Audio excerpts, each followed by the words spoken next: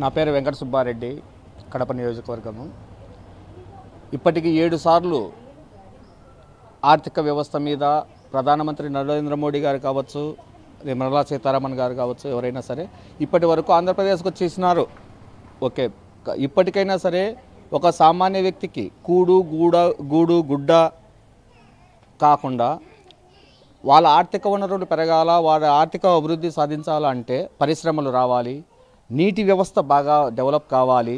నీటి వ్యవస్థ డెవలప్ అయితే ఆటోమేటిక్గా వ్యవసాయ రంగం బాగుపడుతుంది. వ్యవసాయ రంగం బాగుపడిందంటే ఆర్థికంగా చాలా వరకు డెవలప్ అవుతారు ఎవరైనా సరే. అంతేకాకుండా పరిశ్రమలు వచ్చినాయంటే పరిశ్రమల వల్ల చాలా వరకు సామాన్య జనాలు విద్యార్థులు నిరుద్యోగులు అందరూ బాగుపడతారని కోరుకుంటున్నాము. ఆంధ్రప్రదేశ్ రాష్ట్రానికి రాష్ట్ర విభజన జరిగిన తర్వాత ఎంత నష్టపోయిందనేది ప్రతి ఒక్కరికి తెలుసు. కాబట్టి ఆంధ్రప్రదేశ్ రాష్ట్రానికి ఇండస్ట్రీసు మరియు నీటి వ్యవస్థ బాగుపడాలని అంతేకాకుండా వైద్యపరంగా ఎయిమ్స్ లాంటి ఒక ఎయిమ్స్ సంస్థ వచ్చింది.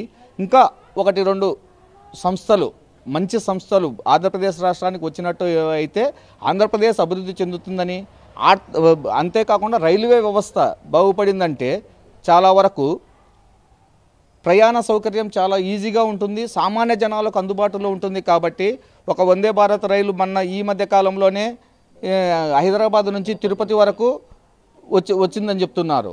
ఇలాంటి ఇంకా ఇంకా కొన్ని సౌకర్యాలు కల్పించేసి మాకు రవాణా వ్యవస్థలో కూడా కొంచెం మీ తోడ్పాటు అందిస్తే ఆంధ్రప్రదేశ్ రాష్ట్రం అభివృద్ధి చెందుతుందని కోరుకుంటున్నాము. రాబోవు కేంద్ర ప్రభుత్వ బడ్జెట్ సమావేశాల్లో వెనుకబడిన జిల్లాలకు అత్యధిక ప్రాణాత ప్రాధాన్యత ఇవ్వాలని చెప్పి మేము కోరుతా ఉన్నాం. ముఖ్యంగా కరువుకు నిలబడిన అనంతరం జిల్లాలో గడిచిన మూడు సంవత్సరాలుగా సమృద్ధిగా వర్షాలు కురిసి ఎక్కడ చూసినా నీళ్ళు ఉన్నప్పటికీ కూడా పంట పొలాలతో పచ్చగా ఉండాల్సిన భూములు ఈరోజు బీడు భూములుగా కనపడతా ఉన్నాయి. దీనికి ప్రధాన కారణం కూలీల కొరత. ఈ కూలీల కొరత తీరాలంటే ఎ- ఎన్నో ఏళ్ళ నుంచి డిమాండ్గా ఉన్నటువంటి జాతీయ ఉపాధి హామీ పథకాన్ని వ్యవసాయ రంగానికి అనుసంధానం చేసి కూలీలకు ఉపాధితో పాటు రైతులకు కూడా పెట్టుబడులు తగ్గించే ఉపయోగకరంగా ఉంటుంది. రైతు వ్యవసాయ రంగం బలోపేతం కావడానికి ఉపాధి హామీ పథకాన్ని వ్యవసాయ రంగానికి అనుసంధానం చేయడం ద్వారానే వ్యవసాయ రంగం బలోపేతం అవుతుంది. అదేవిధంగా రైతులకు సంబంధించి అవసరమైనటువంటి ఎరువులు విత్తనాలు పురుగుల మందు- మందులు వీటిపై ఇస్తున్న సబ్సిడీని మరింత పెంచి రైతులకు ఉపయోగకరమైన నిర్ణయాలు ఈ పార్లమెంట్ సమావేశాల్లో తీసుకోగలరని చెప్పి కూడా మేము ఆశిస్తున్నాం.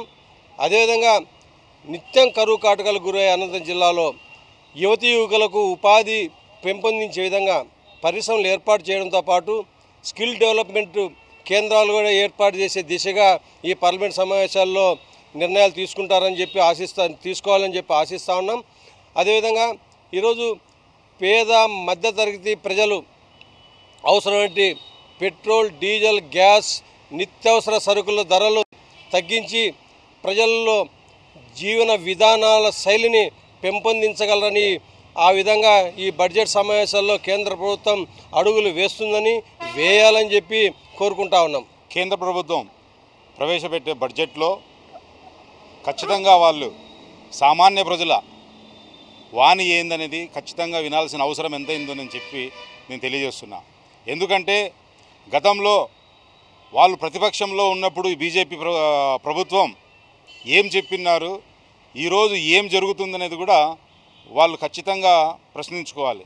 ఎందుకంటే గతంలో డీజిల్ కానీ పెట్రోల్ కానీ గ్యాస్ కానీ నిత్యావసర వస్తువుల గురించి జిఎస్టీ విషయంలో అయినా కూడా వాళ్ళు చెప్పిన తీరు వేరు ఈరోజు చేస్తున్న తీరు వేరు. ప్రజలు ఈరోజు ఈ నిత్యావసర వస్తువుల విషయంలో కానీ గ్యాస్ విషయంలో కానీ చాలా ఇబ్బంది పడుతున్నారు. దాన్ని గ్రహించి దాంట్లో ఖచ్చితంగా రాయితీని కల్పించాల అవసరము ఎంతైనా ఉందని చెప్పి ఈ కేంద్ర కేంద్ర బడ్జెట్లో ఖచ్చితంగా అవన్నీ తగ్గించాలని చెప్పి నేను కోరుకుంటున్నా. అదేవిధంగా ఒక ఆంధ్రప్రదేశ్ వాసిగా మా ఒక కోరిక రాష్ట్రం విడిపోయినాక ఆంధ్రప్రదేశ్ ఏ విధంగా ఉందనేది అందరికీ తెలుసు. కాబట్టి ఈ కేంద్ర బడ్జెట్లో ఖచ్చితంగా ఆంధ్రప్రదేశ్కు ప్రత్యేక కేటాయింపులు కేటాయించి ఇరిగేషన్ డిపార్ట్మెంట్ ఇరిగేషన్ విషయంలో కానీ ఈ ప్రాజెక్టులు కానీ రైల్వే జోన్ల విషయంలో కానీ ఖచ్చితంగా వాళ్ళు చొరవ చూపి ఆంధ్రప్రదేశ్కి ప్రత్యేక కేటాయింపులు కేటాయించాలని చెప్పి నేను కోరుకుంటున్నాం. ఇక రేపో మాపో కేంద్ర ప్రభుత్వము బడ్జెట్ సమావేశాలు జరగబోతున్న సందర్భంగా మేము ఒక విషయాన్ని మీకు తెలియజేయాలనుకుంటున్నాం కేంద్ర ప్రభుత్వానికి. ఆ రోజు ఎన్నికలకు ముందు ఏం చెప్పారు? ఆ వెంకటేశ్వర స్వామి సాక్షిగా ప్రత్యేక హోదా ఇస్తాము ఆంధ్ర రాష్ట్రానికి అని చెప్పి ప్రకటించారు ఆ రోజు. ఆ ప్రత్యేక హోదా ఇవ్వనందువల్ల ఈరోజు ఆంధ్ర రాష్ట్రం ఎంత ఎంతవరకు నష్టపోయిందనేది మీ అందరికీ తెలుసు. రాష్ట్రం విడిపోయిన తర్వాత కట్టుబట్టలతో ఈరోజు ఆంధ్ర రాష్ట్రం ఈరోజు ఉన్న పరిస్థితుల్లో పరిస్థితుల్లో మీరు ఇస్తున్నారు మీరు గ్యారంటీగా ఇస్తారు ప్రత్యేక హోదా అనే. దీంతో ప్రజలు కూడా ఆ రోజు ఒక నమ్మకం పైన అటు కేంద్ర ప్రభుత్వాన్ని గెలిపించారు. మరి ఈరోజు మీరు ఏం చేశారు? ఇప్పటికైనా ఆలోచిస్తున్నారా? ఎందుకంటే ఈరోజు ఉన్న పరిస్థితుల్లో చూస్తూ ఉంటే ఎటు చూసినా సమస్యలే. మధ్యతరగతి కుటుంబీకులైతే పూర్తిగా నాశనం అయిపోయారు ఈరోజు మీ ప్రభుత్వ పాలనలో. మోడీ గారికి విన్నవించుకుంటున్నాం. అటు ధరలు అయితేనేమి? ఏదైనా కూడా పరిశ్రమలు రాలే ఉపాధి లేదు.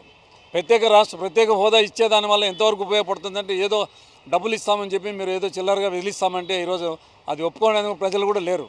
కాకపోతే మీరు ఆలోచించుకోవాలి. ఎందుకంటే మీరు ఇప్పుడు అధికారంలో ఉన్నారు కాబట్టి ఈరోజు రాష్ట్రాలు మీ మీ- పరిపాలనలో మీరు పెంచుతున్న ధరలు అయితేనేమి? మీరు పెంచుతున్న ఏది? పె- పెట్రోల్ డీజిల్ అయితే దీనివల్ల ఎంత ఇన్ఫాక్ట్ అవుతోంది? ఏదన్నా ధరలు పెంచారంటే అది రాష్ట్రం ఈరోజు రాష్ట్రం పైన ప్రభావం చూపుతోంది. అది మీరు అర్థం చేసుకోవడం లేదు. ఈరోజు రాష్ట్ర పరిస్థితి కూడా ఈరోజు మీ అందరికీ తెలుసు. విడిపోయిన తర్వాత గట్టి గట్టి గట్టి పరిస్థితుల్లో ఈరోజు జగన్మోహన్ రెడ్డి గారు ముఖ్యమంత్రి అయిన తర్వాత ఒక బ్యాలెన్సింగ్గా సంక్షేమ పథకాలు అటు ఇది అభివృద్ధి కార్యక్రమం చేపట్టి కరోనా కాలంలో కూడా ఒక దీనికి తీసుకొచ్చిన ఘనత మన జగన్మోహన్ రెడ్డి గారు. ఇలాంటి సందర్భంలో ఈరోజు మీరు చూస్తున్నారు ఆంధ్ర రాష్ట్ర పరిస్థితి ఏంటని. ఆ రోజు నుంచి చూస్తున్నారు దాదాపు పది సంవత్సరాలు ఈరోజు ఏంటి పరిస్థితి అని చెప్పి. కాబట్టి మీరు ఆలోచించండి మోడీ గారు ఇప్పటికైనా ప్రత్యేక హోదా ఇచ్చి ఆంధ్ర రాష్ట్రాన్ని కాపాడండి పరిశ్రమలు ఏర్పాటు చేయండి ధరలు తగ్గించండి ఫ్యూయల్స్ అన్నీ తగ్గించండి. ఈరోజు అన్నీ మా- ఒక మధ్యతరగతి కుటుంబాలకి కు- కుటుంబానికి ఈరోజు ఎంత నష్టపోయామని చెప్పి మీరు గమనించి రాబో రోజుల్లో ఏ విధంగా అయితే బాగుంటుందని చెప్పి ఎందుకంటే మీకు ఓట్లు కావాలా? నెక్స్ట్ మీకు పరిపాలన మీరు చెప్తున్నారు రోజు డంకాపదంగా గంటపదంగా చెప్తున్నారు. మేమే గెలుస్తున్నాం మాదే మళ్ళీ మా కేంద్ర ప్రభుత్వంలో మళ్ళీ మేమే పా- ఇది అధికారం చేపడుతున్నామని చెప్తున్నారు ఎవరు? మన మోడీ గారు. దానికి ఓకే మేము కూడా ఒప్పుకుంటాం.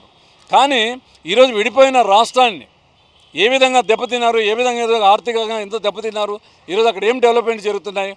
అక్కడ ఒంటరి పోరాటం చేస్తున్న జగన్మోహన్ రెడ్డి గారి గురించి ఆ పరిపాలన గురించి మీరు ఏ రోజు గమనించారా? ఆలోచించండి. ఆలోచించి రాబో రోజుల్లో కనీసం ఇప్పుడైనా ఇక మీకు ఎన్నికల సంవత్సరం కదా రాబో రోజులు ఇంక ఉండేది one one year one and half year మాత్రమే ఉంది కదా. ఆలోచించిన మోడీ గారు రా బీజేపీ ప్రభుత్వాన్ని ఈరోజు కోరుతున్నాం. ఆంధ్ర రాష్ట్రాన్ని కాపాడండి. ప్రత్యేక హోదా ఇచ్చి ఈరోజు ఆంధ్ర రాష్ట్రంలో అభివృద్ధి కార్యక్రమాలను చేపట్టాలని చెప్పి మరీ మరీ కోరుకుంటున్నాం.